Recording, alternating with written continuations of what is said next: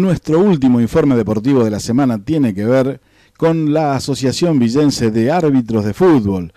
La misma celebró un nuevo aniversario. Allí estuvo presente nuestro compañero Germán Martínez y habló con el director del Colegio de Árbitros de la Liga Regional del Sur y el presidente de la Asociación Villense de Árbitros de Fútbol, José Luis Roldán.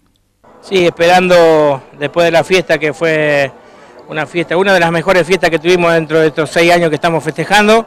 Bueno, y hoy cerramos con un buen arbitraje de la terna que se trajo de Cañada de Gómez.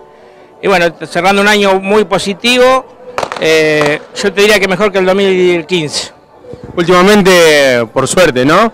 El año pasado sin incidentes, este año tampoco, esperemos seguir así. Sí, sí, uno trabaja y trata de traer lo mejores que hay de árbitro que hay en el interior para que el espectáculo se brinde de, lo mejor, de la mejor manera y que la gente eh, disfrute del fútbol. ¿Se puede decir que la Liga Regional del Sur cuenta con los mejores árbitros de la región? Sí, no te, que no te quepa ninguna duda.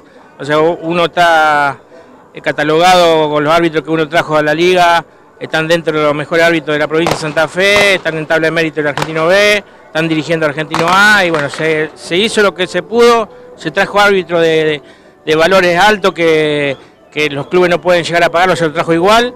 Bueno, porque uno trabaja con el Sadra de, la provincia de Santa Fe, con, a cargo de Sergio Pesota, bueno, y, y uno se concientiza para que los árbitros del interior eh, sigan trabajando para que sea una fiesta como la que fue hoy acá en Porvenir Talleres.